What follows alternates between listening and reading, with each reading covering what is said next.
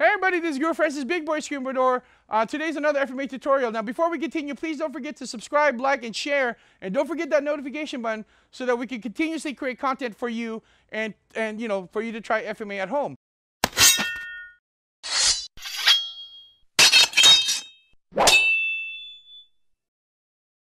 Hey everybody, this is Guro Francis, uh, and today's another episode of FMA tutorial. We're going to be talking about the modified Corto blocks. Now I've done the modified Corto strikes, and I'm going to do the blocks right now. So strike number, block number one is right foot forward, one with a payong block, two, three, then you're going to do a support block. Four, five, open palm, up. Six, seven. Now because eight and nine is to the knees, you bend a little bit, eight, 9, and then 10 is a brush, 11 is another brush, and 12 you parry it out, catch it, and that's your 12th block. Again, let me do that again.